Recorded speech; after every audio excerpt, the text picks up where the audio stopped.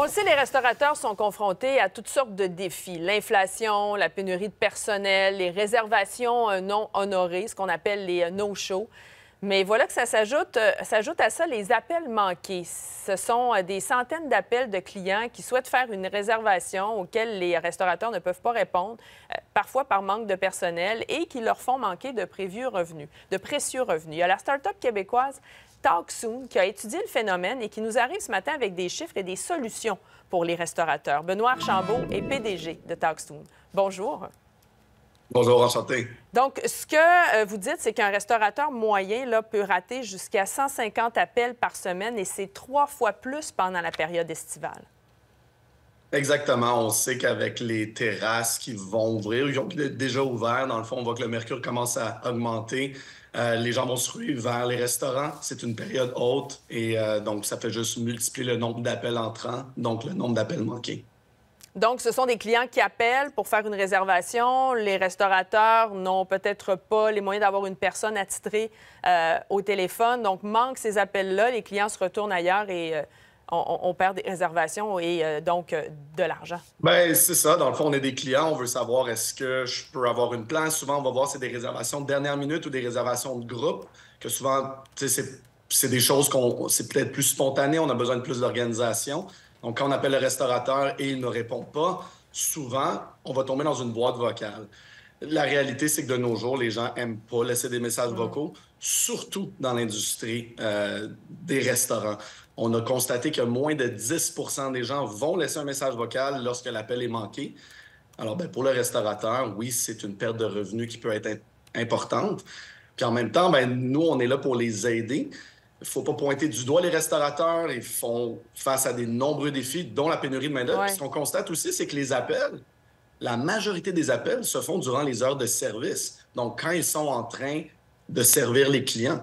Alors, c'est normal aussi qu'ils sont débordés, qu'ils ne sont pas capables de répondre à ces appels-là. À combien vous évaluez euh, le montant d'argent perdu euh, annuellement, par exemple? On a évalué pour un restaurateur moyen qui accepte des réservations. Donc, nous, notre étude s'est portée là-dessus. Euh, c'est autour de 35 000 par trimestre. Donc, autour de 140 000 dans une année oh, en perte de revenus potentiels.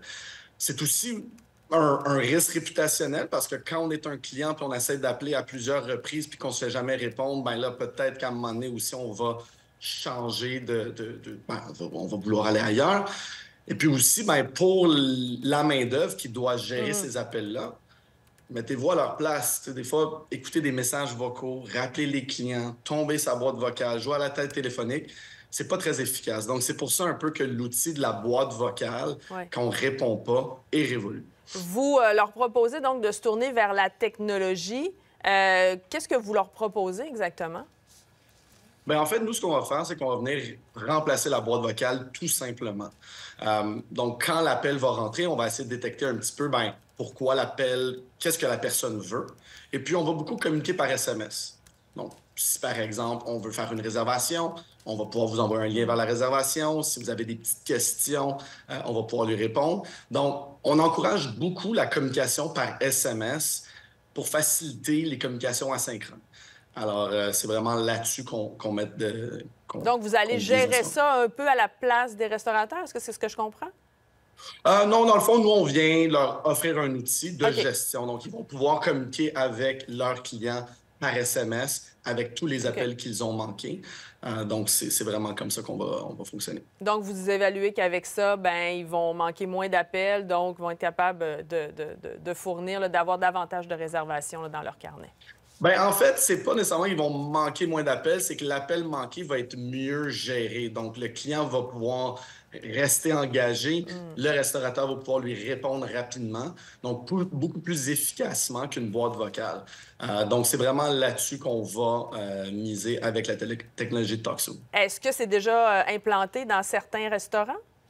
Oui, oui, on a, on a plusieurs restaurants dans la grande région de Montréal, mais TalkSoon, ça s'adresse aussi à toutes les industries. On a beaucoup de concessionnaires automobiles, des golfs, euh, des courtiers immobiliers, peu importe. La majorité des gens, encore aujourd'hui, en fait, des entreprises, utilisent la boîte vocale lorsqu'il manque un appel.